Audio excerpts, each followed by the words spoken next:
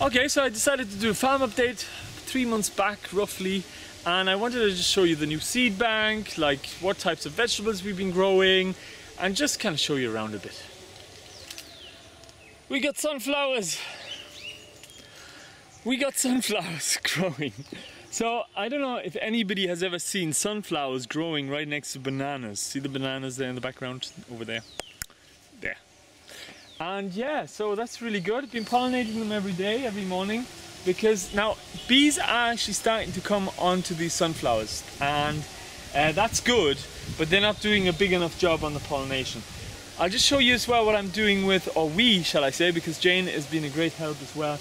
Uh, what we're doing on actually trying to uh, grow these sunflowers here in Kerala, India. Let's take a quick look.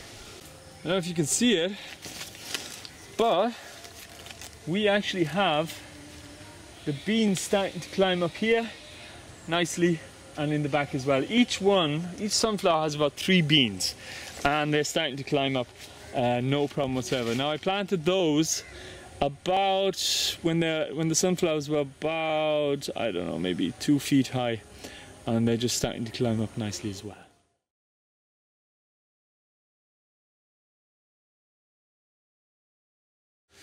Okay, so my sunflowers are a little bit confused as well. I just want to mention that because being from Germany and being so strict on the whole time thing, you know, being German, they usually what they do is they follow the sun with, you know, the, the actual flowers keep changing around depending on where the sun is. Now they're all pointing that way and some are pointing over that way, but the sun is over there, so they're just all confused because they're not from this area. Now, I never mentioned this before, but often when you're bringing um, plants from a different location, um, and they're like, let's say they have a, a summertime of about 17 hours of sunshine, and when you bring them to a place where it's always like 10 hours sunshine every single day for the whole year, they get a bit confused because they think it's actually autumn and then they usually tend to run to seed much faster as well. Um, but these guys haven't been doing that that much, so touch wood, we'll have a lot of seeds as well to share with farmers, and it's just nice to have them in the garden as well. Alright, so we have some ladyfingers down here. Okra is the name of the plant, or ladyfingers, and then we have some more all on that ridge as well, and loads of eggplants on the on the further on ridges as well. So we should get like a lot and a lot of seeds. Now the reason we're growing on ridges is because we could put a lot of the weeds inside those ridges and then we just put some coconut fiber uh, on top of that as a mulch.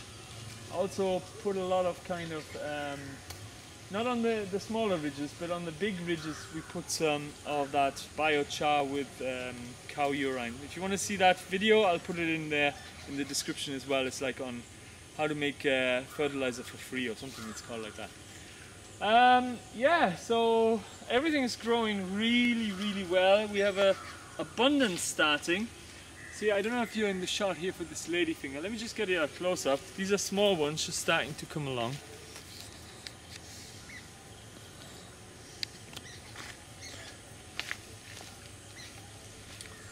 So there they are. Now when the plant gets bigger, they'll make much they're way bigger than that. So the plants are still starting to grow um, and these get really, really tall as well. Here we have a problem. Let me just bring this closer to you as well, to your attention. Can you see that? There's actually uh, caterpillars in there. So what you have here is some caterpillars laying all their eggs in here. Look at this. And there he's. The little fella. So I'm kind of cruel to be kind to my plants. I tend to just put it on the floor and I just step on it and just kill it because you have to do that otherwise they basically just spread everywhere and that's not what we want to have as well. Huh? I'm filming my friend. This is a, a guy, he's he's basically where's your water buffalo Buff buffalo Dharamanda. Dharamanda. Your name Dama Dharamanda. Okay, nice to meet you. This man here. Oh, nice hat, no? Yeah. yeah, it's a good hat, no? Coconut leaf, look. Huh? Up. ah, he's going, he's leaving my hat. That's how you lose a hat, you know. Hey, come back here. right, so then here we have eggplants. Just check out the leaves on that. These are pretty young still. And basically I give nice big yellow eggplants. Once they get bigger, we'll have a, a great harvest. They're even starting to make flowers already, which is great. Um, yeah, so a lot more plants, a lot more seeds. We're gonna have about 40, 50 of these eggplants are growing now at the moment. So I don't know what the harvest is gonna be like, but it's gonna be probably huge. So that's great.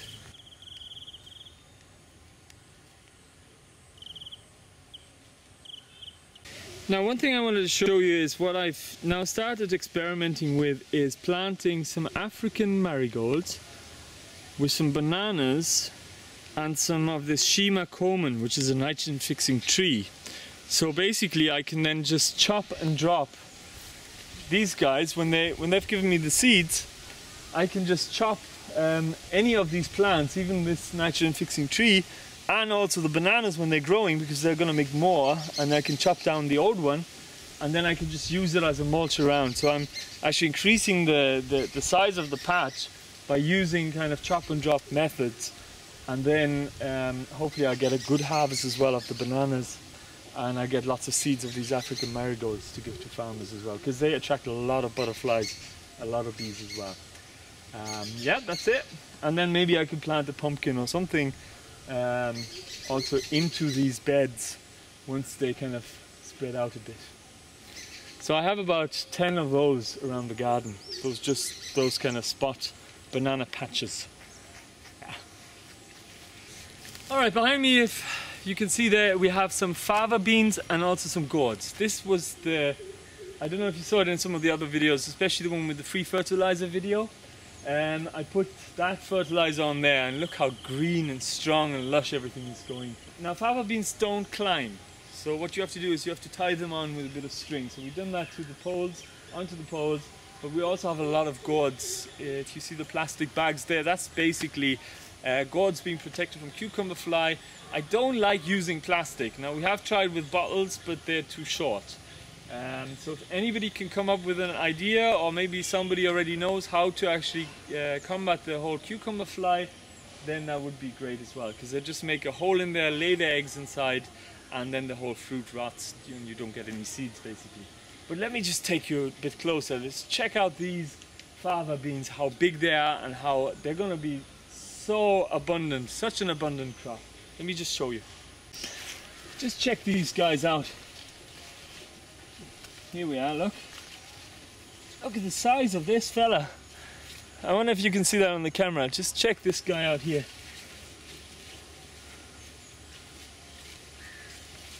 Look at that. Like, they're gonna fill up with lots and lots of beans.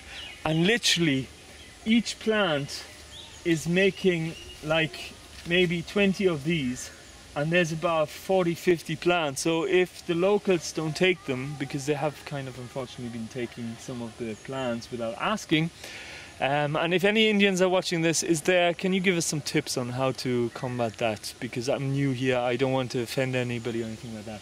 But it is bothering me a little bit because you know put out the hard work and then people just take stuff. Now anyway we're gonna have like a huge bag of these fava seeds to give to the farmers so i'm so excited about it. It's just just check this out like everywhere there's like flowers even up high on the plant let me just show you sorry like here there it's hard to get them all on the shot but there's lots and lots and lots of flowers everywhere So here, there, here, up there. So it's just gonna be great. I can't wait. So here we have then a papaya and this is a very nice shape as well. I want to do some kind of, um, well almost breeding with it. I want to try and stabilize it because my feeling is this is actually a cross um, that has just crossed up naturally. And it's just making a way, the shape is way different and once I get seeds of that I'll just plant 30 papayas all around here and I'll try and just select for this shape. I'm gonna taste it first of course just to make sure that it's it is actually worth uh, doing that whole little project on that. Some of you remember the potato tower, telescopic potato tower. Now all five of them got blight, so it didn't work. Unfortunately, um, this one nearly worked. It, it just kept going and kept going and it was up to here and everything was going really, really well. And then it also got blight. So if I had gotten one potato of that, it would have been really great during the dry season. So I'm gonna try again in the dry season to find some uh, blight resistant varieties. It's very difficult to get um, these kind of things here in India.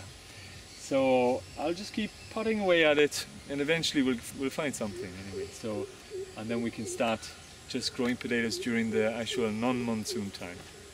Right, managed to get my hat back after a lot of persuasion and his cow actually ran off on him as well in the meantime, so I don't know. Anyway, so here we have some amaranth, red amaranth, and again, it's all just for seed saving as well. And again, the whole mounds, the whole idea of the mounds is just so that we can put weeds inside the middle of them um, because we don't have any compost at the moment. We need to make some compost as well and then mix some biochar into the compost and then we're just going to be laughing. Um, so most of them are looking really, really happy. Some are being eaten by some grubs but every day, literally, I just go and check every single plant. It takes me about 20, 30 minutes and, you know, just be quick about it. Look under some of the leaves. If there's nothing there, then everything's okay. But if you find it on one crop, then you better, you know, look a bit more thoroughly. Because once a grub gets, does a, a bite into your plant, it can also transfer viruses and bacteria and things like that. So you don't want that to happen. Okay, one other thing that I love to grow here, and I'm growing quite a lot of them, is actually sugarcane. Now, I tend to grow them now together with the bananas as another kind of plant to do the whole chop and drop. As you can see, here's a banana. It's not in the shot, but it's just there next to it. And that's one reason. So in another place I'm also growing it by itself, just to be able to uh, create enough kind of organic uh, matter uh, quickly enough. Now, if these are doing well, it means that the soil, these are these need a lot of nutrients. So if these are doing well, it's a good indicator that your soil is actually not so bad, you know. Um, and a lot of the kind of no dig and letting the weeds grow is really helping the soil from not losing nutrients as well. Um, that's what I'm finding. And the second reason is because I want to, of course, um, you know, if I if I kind of grind this up, I'll have basically a type of molasses that I can use for compost tea. So grow it myself and I don't have to buy the molasses, which is quite expensive. Um, behind us here we have two Maxima varieties of pumpkins.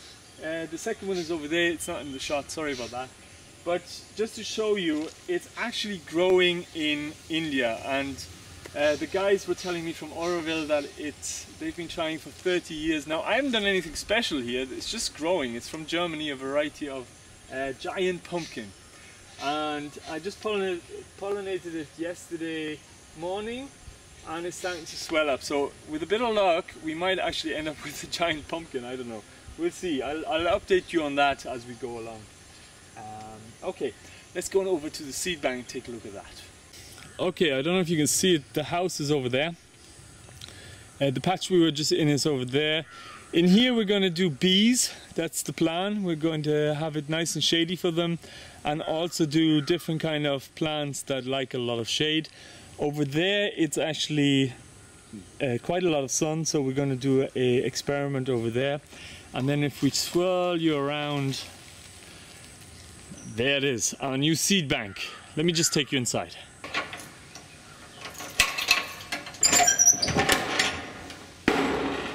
Any snakes? Okay, no snakes. Come on. Right, so that's what it looks like now. Let me just take you in. Right, and that's kind of our seed bank at the moment. It's not big, but this is our drying rack, so we just dry the seeds in here, which is working really well. Um, we don't have any seeds right now to dry, but that's going to come now in about a month's time once we actually have all those all those seeds and all those vegetables I showed you, they'll be ready. Now we have here, this is then our seeds, let me just take you a bit closer so you can just get an idea of what we saved already. Right, so there we are. This is actually all the seeds that we have. We've quite a number of seeds here. all vacuum packed, and basically the reason we're doing that is because, like, these seeds would perish so fast within about six months to a year. All of these seeds that we worked really hard to gather in, without a fridge, they would have just basically perished. And then, you know, now they're actually lasting maybe three years, five years. And we didn't get a freezer just yet because um, it was more important to just kind of keep the large bulk um, going that we have. Here we have a load of okra seeds as well. So they're doing really good now. And I'm so happy that we have a fridge now because otherwise we would have been like in a, in pickle. Um, Sativa actually, Swiss company, sent us over these seeds as well to try. And some of them actually, the beans, I've tried already and they're doing really well here. It's a kind of a field bean that doesn't grow very high. But I also want to take a quick uh, moment to thank, just thank everybody who's actually helped uh, with the fundraising, um, sending donations as well on Patreon. I really, really, uh, I'm very thankful for that as well. So thanks for helping out as well. And that's it. That concludes this video. I hope you enjoyed it. And that's our farm update. If you have any questions, please feel free to ask in the comment section. And yeah, I might see you in the next one as always. Thanks for watching.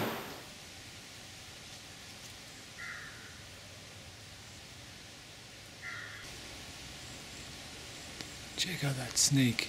Look at him looking at us. That's what we have to deal with right outside the house. It's pretty hypnotizing. And they're very hard to see in the underbush as well. So that's we kind of make a lot of noise in the morning and then they go away but if you step on one of them it's bloody game over. Sound like David Attenborough there. or Bear Grylls or whatever, whatever his name is. But look at that little fella. Just hanging out there.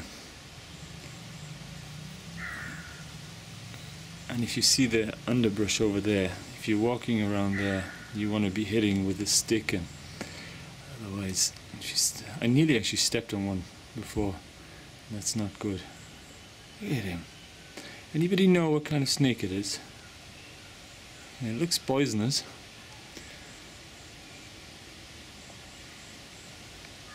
Ah, time to chase him away anyway. Hey, you! What are you doing here? Come on, bugger off. Huh? Just go a bit closer.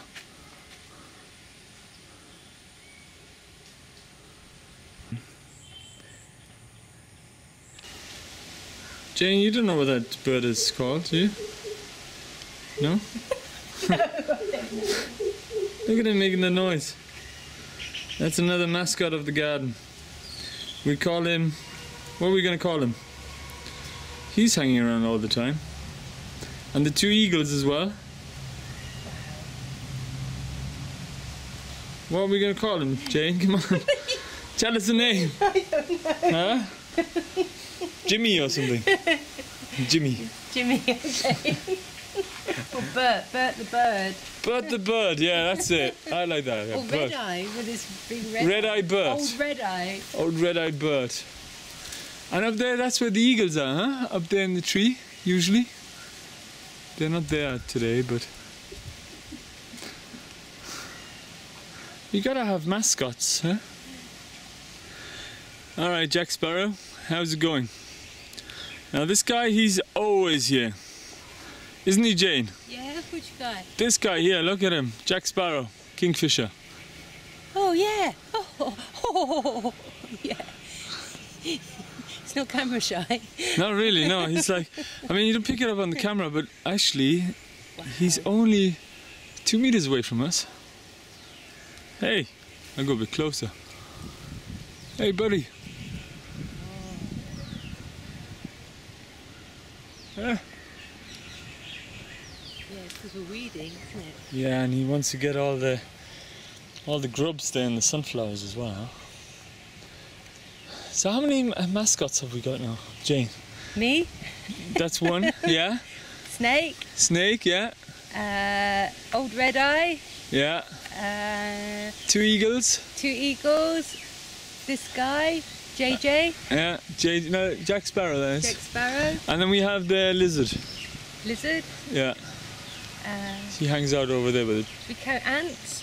Ants are yeah, ants are good. Yeah. We've a lot of yeah.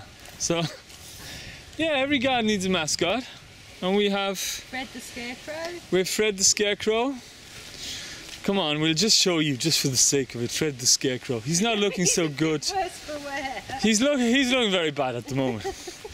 Yeah, he's kind of a bit. What what would you call it? Uh, legless. Yeah, he's legless anyway. Hey, buddy. Ah, you doing okay? Hey, hey, hey. He's a bit like that guy from. Uh, what's that movie? Um, I don't know. What? You know the guy on the island, and he's got a football as a friend. and We've got. Robinson Crusoe. No, that guy. What's his name? You know, like Run Run Forrest. No, not that. You know that guy. Oh, um, is it the Castaway? Oh, never mind. Never mind. Anyway, there you go. That's our Life. that's our life on the farm. Yeah.